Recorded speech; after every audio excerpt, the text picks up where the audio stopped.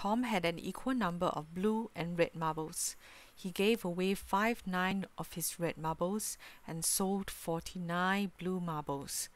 So this is the model that I came up with.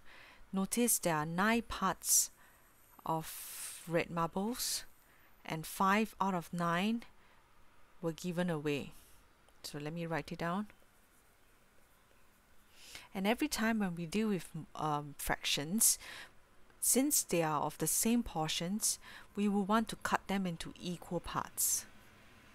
So since on the top they cut into 9 parts, the bottom one, I'm going to cut it to 9 parts. And then the next portion, they say he sold 49 marbles. But I do not know that 49 is equal to how many units. So I'm going to leave that. Instead, I'm going to look at the next sentence. In the end, he was left with one third of the marbles. This of the marbles is of the total. So I'm going to use equivalent fraction to solve the question. Let's take a look at one third. Remember, the denominator denotes the total parts. But over here, how many total parts do we have?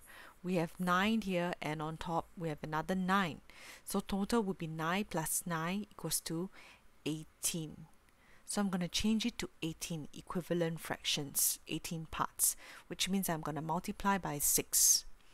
And on the top, the numerator, I have to multiply by 6 as well. So I get 6 out of 18. Now, this 6 out of 18 refers to the remaining parts. So here we have 1, 2, 3, 4, 5, 6 parts. So these 6 parts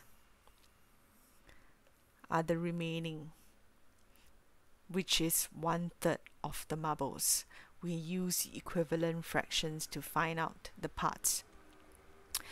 And there goes we know how many units 49 is because since there are only two units left which means this entire chunk is equals to 49 and the moment we find this out we can solve the question because we know 1 2 3 4 5 6 7 7 units is equals to 49 they want to know how many marbles did he have at first which means we are finding 18 units so first of all, let us find one unit.